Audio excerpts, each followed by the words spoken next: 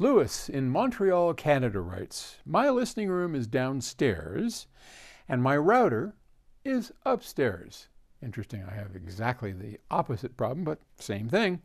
So you understand that I stream my music from the internet and I use Tidal.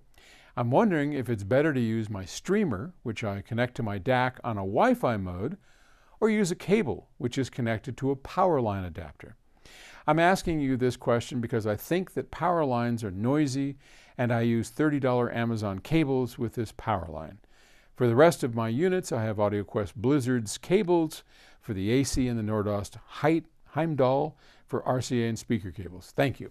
All right, so we're into cables. That's cool because they do matter. And I will get in a constant argument with people about this because there's so much around how the Ethernet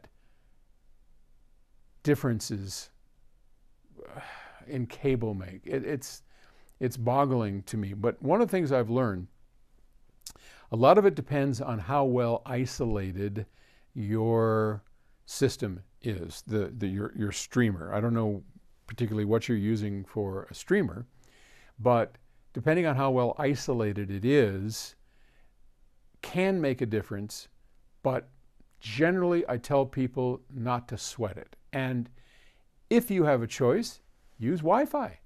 Because at the end of the day, Wi Fi is there's no noise associated with it. It shouldn't matter. I use Ethernet, but honestly, the difference, at least with an Airlens streamer, there is no sonic difference between Ethernet and Wi Fi at all. And I don't care how the Ethernet is delivered. If you have a proper device that has proper isolation on the RJ45, which is the connector that we, we use to hook up Ethernet, there, there should be this thing called a PHY, which is a isolation device. And if that's implemented properly, it shouldn't make any difference whether Ethernet is delivered over the power line or whether Ethernet is delivered over a Cat5 or a Cat7 or an expensive device shouldn't matter. So I can't tell you for sure that it doesn't matter because I don't know what you're using as a streamer, but it shouldn't. And if you really want to be safe, use Wi Fi. Done. Okay.